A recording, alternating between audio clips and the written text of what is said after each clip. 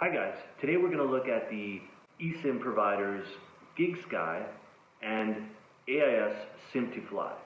Both have awesome global data products, but today we're going to look at their Asia Pacific roaming data products and see how they compare.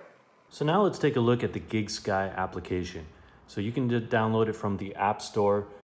The, in the first installation, there is a walkthrough and it will help you get set up. As you can see here, it has my location already there. Let's see what they have for the Asia Pacific plan. Basically, I see four different plans, a one day, 15 day, and 30 day plans. Right up here, we can see the 22 countries.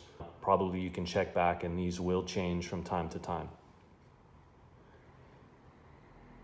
So we'll have a look at the order summary for our 800 megabyte one day plan. Because I use the referral code, it is showing a $5 off coupon. The great thing about GigSky is that you do get that first $5 off by using the coupon.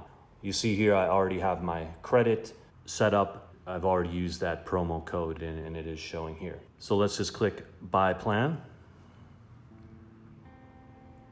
We see it's now charging the card and we'll follow the activation steps as they occur here next. So here again, they are telling us about the plan label. The reason for this is iPhones can have up to 10 different SIM card plans. So once you're at four, five, or six, you want to make sure that you're keeping track of them. So this is going to copy the name of the plan. We'll come over here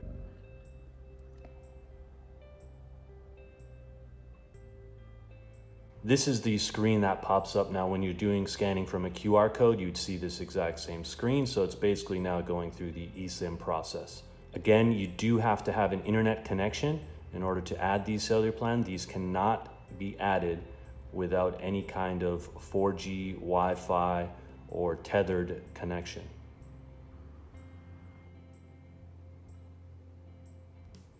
All right, we got an OK prompt. There it is. We have successfully completed the plan purchase. So that is 800 megabytes for one day. The normal price is $10. After using the $5 coupon, it ends up being $5 for the one day. So now let's go take a look at our settings. Let's give this a better, better label. Uh, and as we remember, we did save this already, GigSky Plan 4. So now we have the, the label name. So we have all the details of the cellular plan here. And if we go back, we can see the secondary GigSky plan is there and available. Okay, now let's do a quick speed test. I'm gonna pull open this fast.com right through the browser and let's see what it's giving us. Fast.com seems to be powered by Netflix. So we're looking at good 4G speeds here. Proper 4G is 42 Mbps and we're looking at 35. So that's not half bad. So now that we've run a few speed tests, I wanna quick take a look at our usage. And if we come inside here to the app, we can see that it's displayed very nicely for us and we can drill down and see a little more detail. So we do see we have 131 megabytes remaining as well as 23 hours remaining. So that means out of our 800 megabyte package, we've used most of it and have 131 megabytes remaining. Now I've run a few speed tests, but iPhones also do a lot of background app loading and refreshing. And so that's probably what has used up a bulk of this data.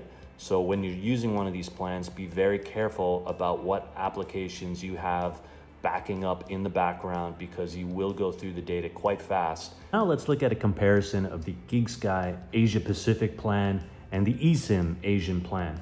Here we can see the countries that both are supported in.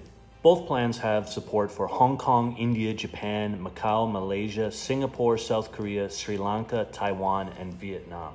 GigSky does have countries that the eSIM the Fly does not have. So you can see those here. Some of the notable ones that GigSky does not cover are Indonesia, Myanmar, Nepal, Philippines, and Laos. On the other side, uh, the SIM2Fly does not cover Pakistan, New Zealand, And for Thailand, the Sim2Fly does not give full coverage. They only give a nominal 500 megabytes for just short-term usage. Now let's take a look at the prices. If we look at the packages, eSIM's default package is $19 and that's gonna give eight days and five gigabytes.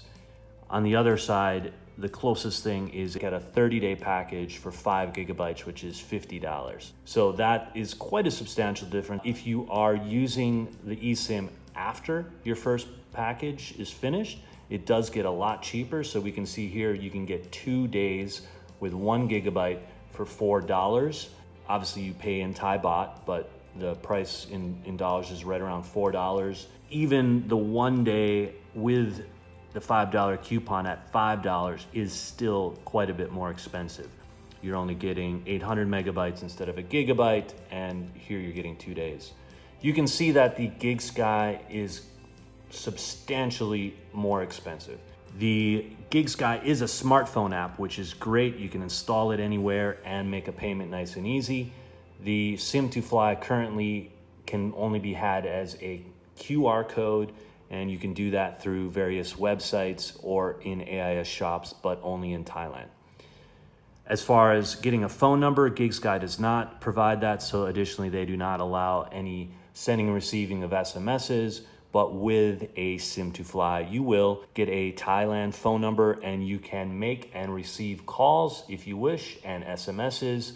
You would need to add additional mobile phone credit in order to do that, but normally at least in Thailand, receiving of calls and SMSs is going to be free. Who wins?